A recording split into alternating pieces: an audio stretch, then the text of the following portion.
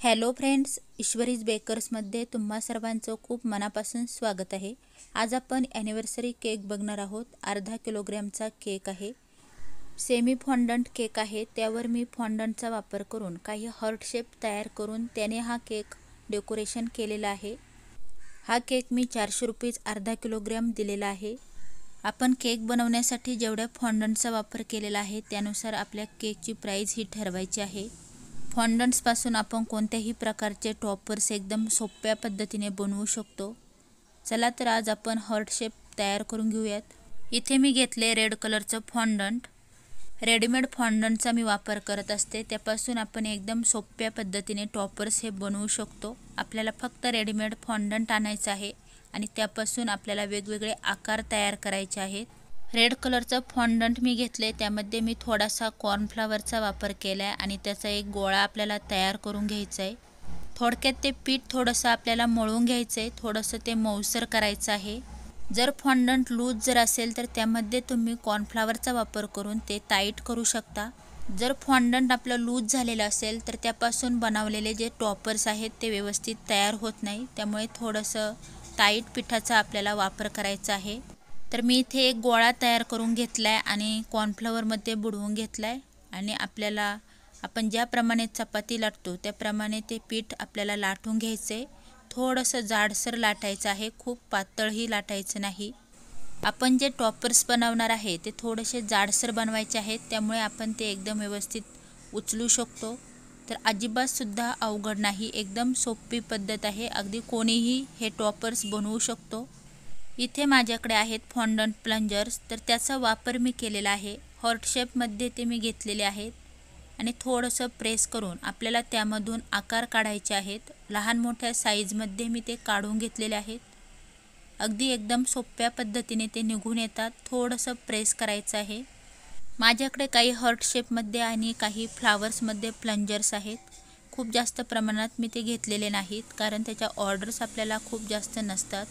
या अगोदर मी जंगल थीमचा केक केलेला होता. त्यावर मी काही फॉन्डन टॉपर्स ठेवलेले होते. त्यामध्ये लायन मंकी अशा वेगवेगळ्या प्रकारचे प्राणी मी बनवलेले होते. त्यानंतर फॉन्डंट साडी केकसुद्धा तयार केलेला होता. त्यावरसुद्धा मी फॉन्डंटपासून काही ज्वेलरी तयार केलेली होती. रेडीमेड फॉन्डंटचा वापर करून आपण एकदम झटपट टॉपर्स हे तयार करू शकतो. तर इथे मी काही हार्ट शेप तयार करून घेतलेले आहेत आणि एका प्लेटमध्ये कॉर्नफ्लावर मी डस्ट करून घेतले आणि त्यामध्ये हे हर्ट शेप आपल्याला ठेवायचे आहेत. त्यामुळे ते एकमेकांना चिकटणार नाहीत. ते आपल्याला थोड्या वेळासाठी बाहेरच उघड्यावर ठेवायचे आहेत फ्रीजमध्ये ठेवायचे नाही. त्यामुळे ते एकदम कडक होतात.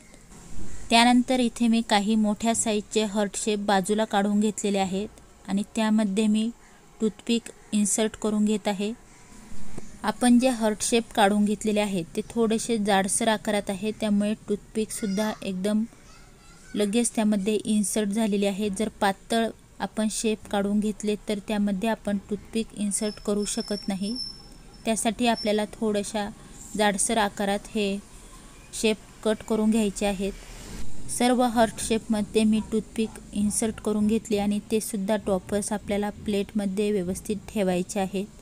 त्यामुळे ते एकदम कडक होतात आणि केकवर सुद्धा आपण एकदम सोप्या पद्धतीने ठेवू शकतो. ते टॉपर्स तयार करून आपल्याला फ्रीजमध्ये ठेवायचे नाहीत बाहेरच ठेवायचे आहेत. त्यानंतर इथे मी अर्धा किलोग्रॅमचा चॉकलेट फ्लेवर केक हा तयार करून घेतला आहे आणि केक आता मला डिलिव्हर करायचा आहे. त्या अगोदर मी दहा मिनिट आपले जे टॉपर्स आहेत ते केकवर इन्सर्ट करून घेत आहे.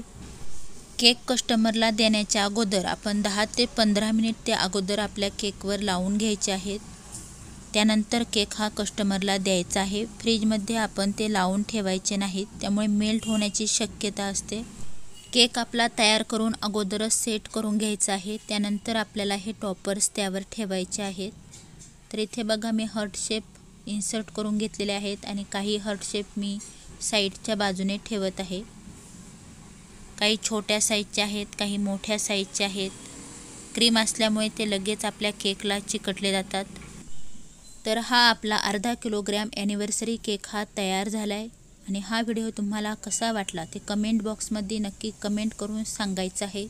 चला तर मग भेटूयात न्यू व्हिडिओमध्ये तोपर्यंत बाय